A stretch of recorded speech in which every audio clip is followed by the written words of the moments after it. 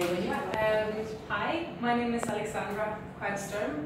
Uh, you can also call me Alex, uh, which was a nickname I always hated as a child, but I come to terms with it.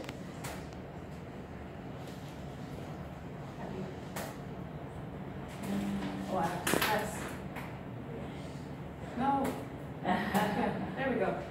Uh, I was born in Gothenburg, Sweden on the 18th of March, 1995. Uh, and I went to music school in Sweden until I was 19. And then I decided to move to Marbella. I have family here already, um, so it was an easy choice for me to get to the sunshine. Uh, my favorites. Uh, my favorite food is a combination between sweet and healthy. And I love sweets, but I love that it's also healthy. So it's acai. Uh, my favorite animal is dog. This is my dog Lip. And my favorite sport is soccer, because uh, it's the only sport that I love to play and also to watch. No other sport I can watch. It's really boring. My uh, favorite number is number eight, which I heard is apparently also my numerology number. If you know anything about that. My favorite thing to do is to travel. I would like to be on travel right now and come home for Christmas. um, and to relieve stress, I like to walk on the beach or in the mountains. I feel like if you live in Marbella, you should live like you live in Marbella.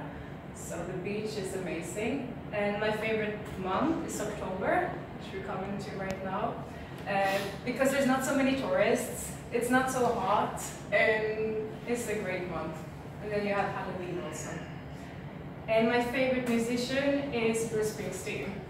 Uh, since I saw his concert when I was 11 on TV, I was in love. Uh, so my scores for the VARK, I have kinesthetic as number 14, so that's the, that's the easiest way for me to learn, uh, to move and to try to figure out things on my own. I also have high visual and aural, but I'm not so fond of reading and writing. My Humanmetrics scores is ENFP, and I feel it's quite accurate. Um, and I think that's something that I've grown into, because if you, I would have done this test maybe five years ago, I think it would look completely different. I was really introverted, uh, so I think that's something I've grown into becoming. When I'm older, uh, in five to 10 years, I want to have finished my university degree, and I want my business to grow, and I also want to maybe start a side business on the side. I like the business part of it.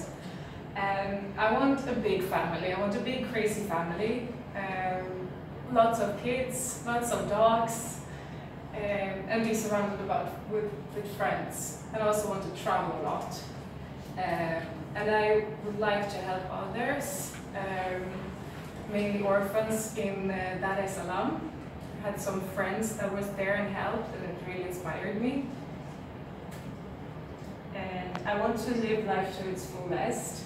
Um, maybe I won't end up doing anything of this, but I still want to to live like it's it should be good to live. And if you asked me five years ago what would I be doing in five years, I had looks nothing like it does today.